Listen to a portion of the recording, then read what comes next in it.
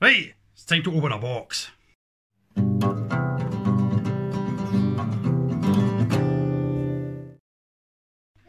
Hello everybody, I am of course the Invertabarian. Thank you very much for coming and watching this video here today.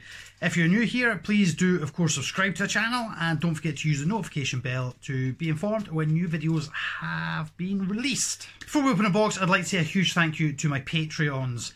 Uh, I've been chatting away to one of you, uh, you know who you are, and it's really nice getting feedback and speaking with you. And yeah, it's just absolutely amazing being able to communicate with people that I know really enjoy watching the videos. Uh, so a huge thank you to you uh, for supporting me, and yeah, thank you ever so much. Uh, but if you want to become a Patreon, the link is down below. Uh, but in the meantime, we have a box. It's from our big old hairy Viking friend. Hello. Hello. Hello. Hello, hello.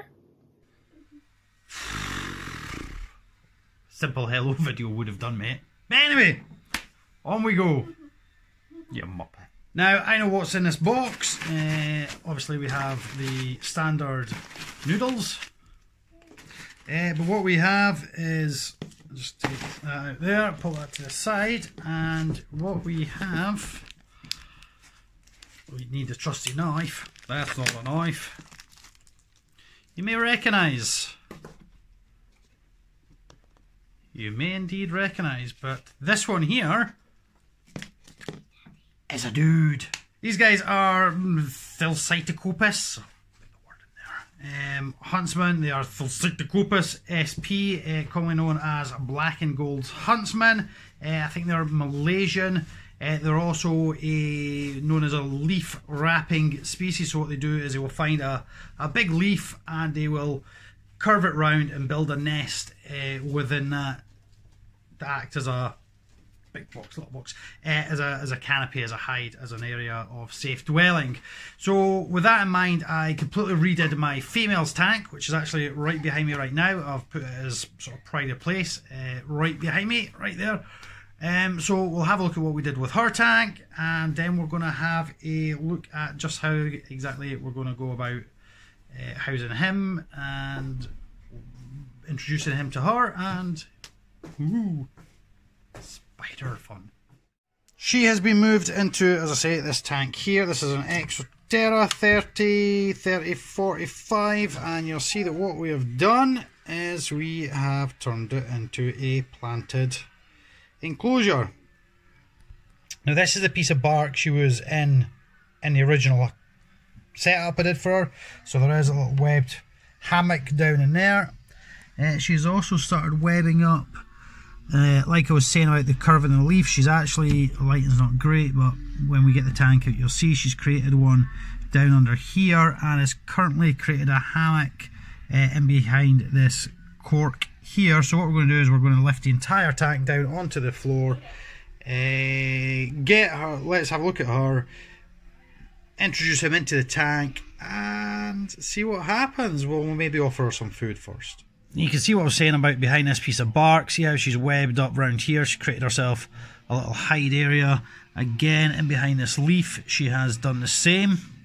And again, the original cork bark uh, from the original setup we did for her is here. So she has been exploring the setup and as I say it's currently here. This is a live planted setup, false bottom, drainage layer, uh, soil and then we've planted these uh, hopefully greenery plant things that will grow and increase and create lots of lovely uh, environment for her to live in and then we'll maybe introduce him up around here somewhere.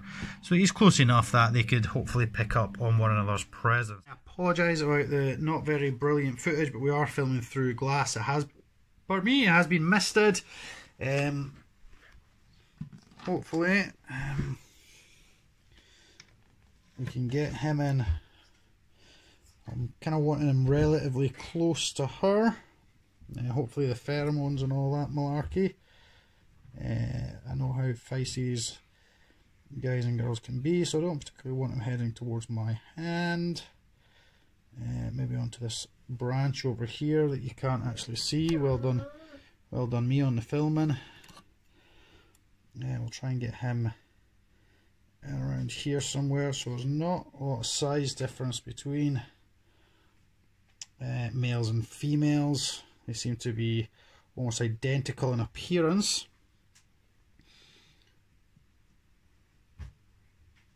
Yeah, so he is now in.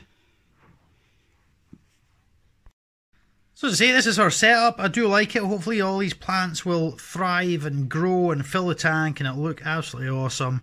Um, yeah, I do quite like it. So she's in here. He's in about here. We're going to keep an eye on them and hopefully the next part of this video will be something. I don't know. So what's really happening is Mr. Sausage Fingers up there is kind of crawling around the tank up the top. He is laying um, strands of silk around the tank, which you can't really see. Um, I know some species of spiders will lay silk with pheromones and uh, pluck the produce different frequencies to communicate and you know communicate with a female. So possibly is that what he's doing? I don't know, but Obviously, I will keep an eye on. He is laying, as I say, strands of silk. That's a lovely picture. Um, so we'll leave little Mr. Fat Sausage Fingers uh, to kind of explore. Hopefully, she will come out of down in there, and at some point, hopefully, we'll get some action. But in the meantime, Mr. Sausage Fingers, you explore the tank all you like.